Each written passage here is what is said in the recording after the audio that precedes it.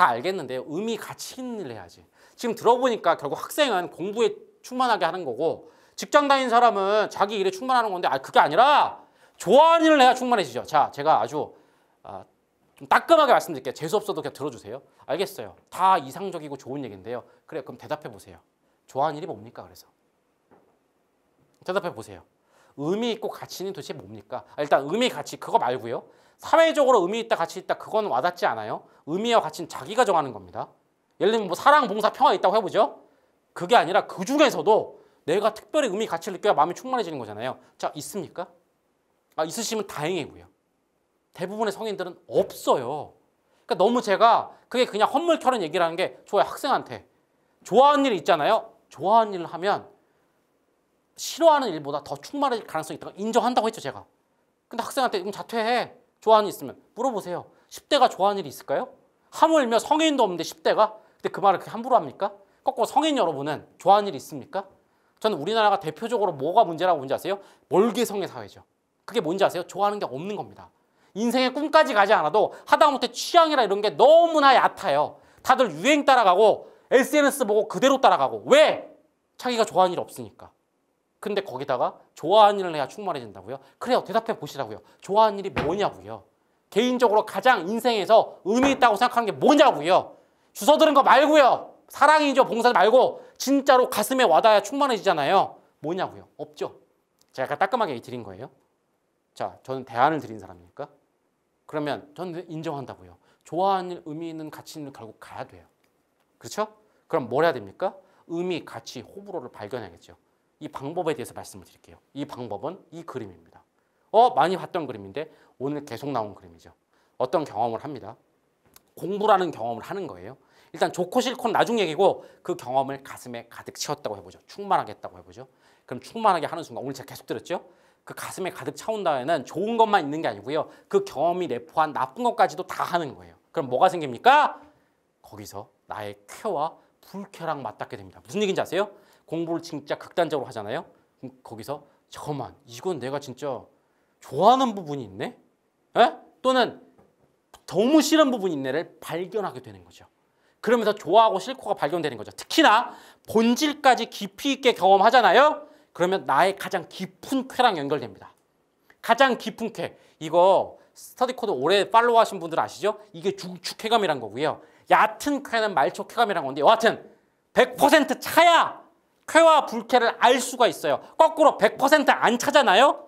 그러니까 좋아하는 걸 모르는 겁니다. 쾌 중에도 너무 일부만 느껴지니까 내 깊은 쾌는 못 느끼는 거야.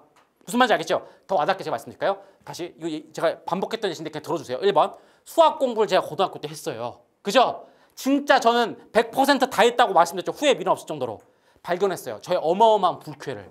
저는 평가받기 위한 공부는 너무 싫어한다는 걸 발견했어요. 알겠습니까? 그런 게 저의 불쾌예요. 쾌도 하나 발견했어요. 수학이 주는 어떤 논리의 세계 이건 제가 말씀드린 수학의 본질을 여러분 아셔야 되는데 스터디 코드 들어보신 분들 아시죠? 수학의 가장 본질로 본질에는 가져다 쓰기라는 게 있어요. 적절한 도구를 문제 해결하게 가져다 쓴다. 그 두 개는 저를 매료시켰어요. 저의 쾌더라고요. 알겠어요? 군대에 갔어요. 군대도 저는 훈련 기간 동안 100% 경험을 어정쩡하게 안 하고 힘든 거 안 해야지가 아니라 진짜 100% 했어요. 그랬더니 본질이 느껴지더라고요. 군대의 본질 중에 하나 뭔지 아세요? 상명하복이에요. 그건 저에게 불쾌였어요. 저는 상명하복이 너무 싫었어요. 한편으로 또 이해하는 것도 있어요. 왜 그렇게 상명하복을 강조하느냐? 봤더니 인간의 목숨이 걸린 그죠? 그리고 가장 극효율성이 있는 전쟁에 대해서는 상명하복이 가장 좋은 프로세스다. 저 그때 느꼈어요. 나는 상명하복이 너무 싫다. 내 불쾌다. 그래서 나는 그냥 효율적으로 하는 것 그건 안 되겠다. 하지만 또 그 사람들 이해한다. 생명이 걸린 문제에 대해서는 상명하복이 중요할 수 있다. 자 이게 뭔지 아세요? 제 쾌 불쾌가 발견됐죠. 이렇게 쉽게 얘기할 수 다시 이렇게 쉽게 얘기할 수 있는 성이 없다고 했죠. 다시 저희 얘기할게요.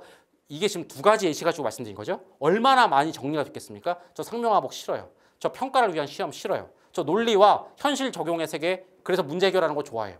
이게 어떤 영향을 준지 아세요? 인생 삶의 첫 번째 인생이 선명해지는 거죠. 호불호가 명확해지고 취향이 명확해지는 거죠. 알겠습니까? 저는 그래서 뭔지 아세요?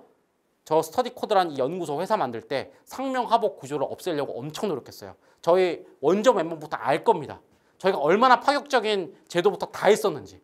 그리고 지금도 문화에서 상명 하복하는 하복하는 문화가 있으면 없애려고 무진장 노력해요. 자, 선명하죠? 회사를 운영한다. 어떻게 운영해야 될지 너무 복잡하죠. 저는 처음부터 선명했어요. 왜냐하면 저의 불쾌니까. 옳다는 게 아니에요. 제가 싫은 대로 회사를 운영하면 안 되잖아요. 그죠? 저 대학 가서 있잖아요. 모든 시험 중에 평가를 위한 시험 거부했어요. 이제는 더 이상 안 하겠다. 제가 평가를 위한 시험을 액세트 하는 건 1번 운전면허 정도 또는 2번 경험 한 번 해보고 내가 판단하는 건 좀 아닐 수도 있으니까 대학 공부에서도 한 두 개 과목 정도를 평가를 A 플러스 맞을 때까지 해봤어요. 근데 확실해지더라고. 아, 난 평가를 위한 시험을 안 하겠다. 대학 가서 어떻게 했는지 아세요? 진짜 듣고 싶은 수업 듣고 있잖아요. 그다음 어떻게? 마지막 시험 안 본 경우도 많았어요. 학점은요. 제 불쾌를 알았기 때문에 학점을 과감히 포기했죠. 저는 학점이 자유로워졌어요.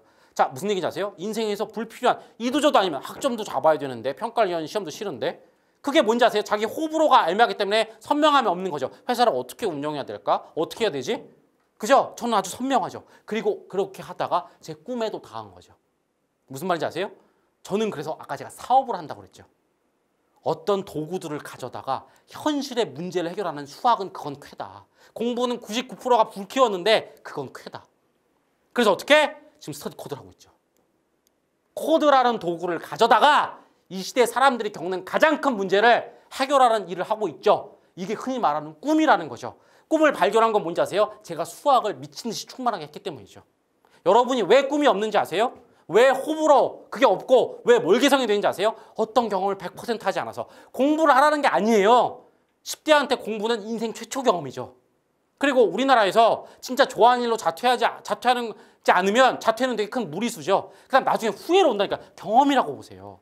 예, 네, 그냥 경험이라고 보라고요. 정말 내 인생이 완벽하게 선명하지 않은 이상 자퇴하고 나가면 나중에 그 공부를 내가 했었으면 뭘 발견해. 자, 그래요. 후회와 미련의 두 번째 뭔지 아세요? 끝까지 했을 때 그게 나랑 맞았을까? 그런 얘기 하죠. 내가 그 여자랑 사귀었으면 나랑 맞았을까? 그 맞았을까가 뭔지 아세요? 자아 발견, 쾌, 불쾌, 발견의 기회를 놓친 거죠. 알겠어요? 그래서 다시 한번 10대 여러분들 좋아하는 일이 없잖아요? 눈앞의 경험부터 하라는 거예요. 그 눈앞의 경험이 공부일 뿐인 거예요. 자퇴하기엔 부담되고 나름 사회 구조적 정해진 공부를 하라는 거고요. 월급 받는 여러분들 제가 얘기할까요? 그렇게 좋아하는 일이 있으면 직장 옮기세요. 근데 왜 직장을 못 옮기는지 아세요? 내가 어떤 직장으로 갈지 몰라서죠. 네. 오직 돈만 생각하니까 이거 그만두고 커피 가게나 차릴까? 근데 돈이 안 될 것 같은데 내가 근데 커피를 좋아하긴 해? 지금 다니는 회사가 꿈이라는 게 아니에요. 승진하라는 거 아니에요. 부자 못 돼요. 지금 다니는 회사에서 100%를 하세요. 그래야 어떤 회사를 갈지가 아는 거예요. 바로 그 얘기인 거예요. 다시 저는 그래서 눈앞에 무슨 경험인지 상관없는 거예요. 저 차 마시러 갔다고 했죠? 차에 대해서 관심 없었어요. 눈앞에 차가 있으니까 마신 거예요. 근데 발견했죠. 아, 명상이라는 게 차에 있는 거구나. 그런데 저는 그 명상 이런 게 저한테는 와닿지 않더라고요, 아직은. 쾌가 아니었어. 불쾌도 아니었지만. 그 저는 명상 관련된 건 안 할 거예요. 적어도 차에 대해서는 다도까지 하지 않을 거예요. 저는 그 시간에 딴 경험을 하는 게 더 쾌가 있거든요. 인생 선명해지죠. 그래서 나중에 불쾌를 걷어내고 쾌만 가득 차잖아요. 궁극의 마음속에 충만한 잘 들으세요. 쾌로 충만하겠죠. 아, 이게 멋있는 말이에요. 쾌로 충만한 거 이게 궁극의 행복의 경제 아닙니까? 충만까지 하는데 온통 쾌로 돼 있어. 제 궁극의 지향점이에요. 가장 깊은 쾌로 중축쾌감으로 꽉 채우고 말초에서도 쾌만 남기고 어쩔 수 없이 따라오는 것도 있어요. 이렇게 강의를 하려고 해도 목이 아프고 한 체력적 불쾌도 있지만 그걸 최소화하고 그럼 제 마음속은 쾌로 충만하겠죠. 이게 제 인생 로드맵이에요. 다시 그래서 제가 여러분께 드리고 싶은 말씀 뭔지 아세요? 의미 있는 일. 의미는 개인적인 거랬죠. 가치 있는 일.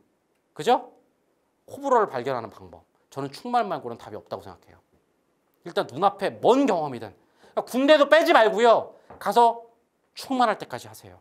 군 다시 한번 군대 가서 무슨 1등 돼 갖고 장군 대라는 거 아니에요. 그냥 눈앞에 군대가 있으니까. 10대 여러분 눈앞에 공부가 있으니까. 대학생 여러분 눈앞에 연애가 있어요? 제발 미적미적 빼지 말고 요새 여러분들은 그놈의 계산적이라는 말 때문에 너무 마음을 깊이 주지도 않고 데이트도 100%안 하죠. 눈앞에 연애가 있으면 100% 하세요. 회사 다니세요? 100% 하세요. 끝나고 취미가 있어요? 100% 하세요. 밥 먹고 TV 보면서 핸드폰 하지 마세요. TV도 100% 보세요. 밥도 100% 먹어보세요. 핸드폰을 볼 거면 100% 하라고요. 그 다음에 발견하세요. 아니 그래야 발견이 돼요. 가슴 깊은 곳에서 올라와요. 이게 내 쾌구나. 이게 내 불쾌구나. 알겠습니까? 그게 의미와 가치와 좋아하는 일을 발견하는 거예요. 전 이거밖에 답이 없다고 생각을 합니다.